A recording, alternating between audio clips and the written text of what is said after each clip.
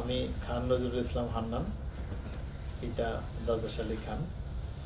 বড় হয়েছি এই শিমুলিয়া গ্রামে। আমাদের যে ইউনিয়ন, সেই ইউনিয়ন হচ্ছে কুমারবুক ইউনিয়ন।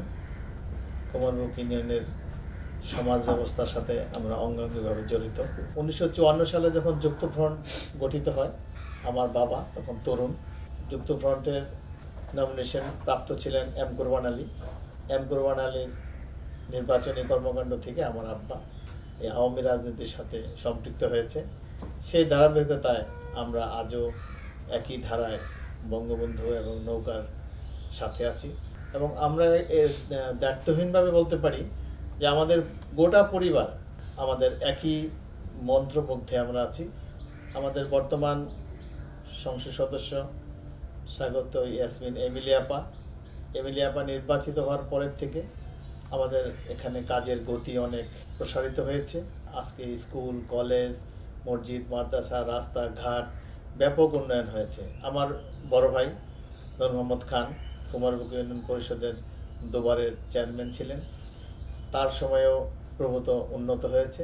আমার আব্বা প্রয়াত মোহাম্মদ দরবেশ আলী খান, তার যে বন্ধু ছিল এখনও সে জীবিত আছেন, ডাক্তার কালীজীবন মজুমদার।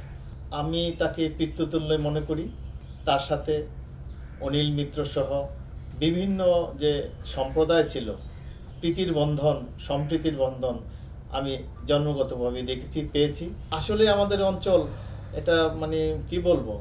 হিন্দু, মুসলিম বিভিন্ন সম্প্রদায় আছে, সেখানে একটা মেলবন্ধন। দারুণভাবে আমরা এটাকে উপভোগ করি। যেহেতু আমি বলছি যে আমি জন্মসূত্রেই আওয়ামী পরিবারের লোক বঙ্গবন্ধুর প্রতি আমাদের প্রগাঢ় বিশ্বাস, আস্থা, ভালোবাসা।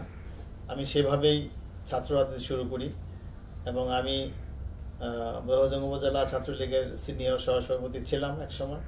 তার পরবর্তী পর্যায়ে আমি ঢাকা যখন পড়াশোনা করেছি, কবি নজরুল কলেজে, সেখানে আমি ছাত্র সংগঠন করেছি, ছাত্রলীগ করেছি।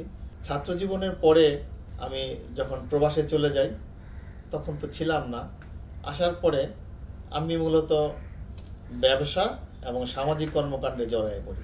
আমি বঙ্গবন্ধু পরিষদের এখন লোহজং উপজেলা শাখার যুগ্ম সাধারণ সম্পাদক। আমি আরেকটা সংগঠন করি, এটা জাতীয়ভাবে।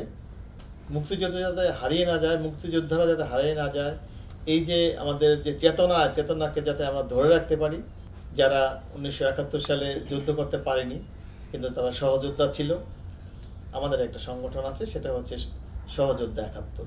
আমি সহযোদ্ধা একাত্তরের কেন্দ্রীয় পরিষদের সভাপতি হিসাবে দীর্ঘদিন দায়িত্ব পালন করছি। স্থানীয়ভাবে মানুষ, জনগণ যদি মনে করে যে আমার এখানে অবদান রাখা উচিত, আমার এগিয়ে আসা উচিত, আমি নিশ্চয়ই মানুষের সেই দাবির কাছে বা তাদের যে ইচ্ছা সেখানে আমি নিশ্চয়ই তাদের পাশে থাকব।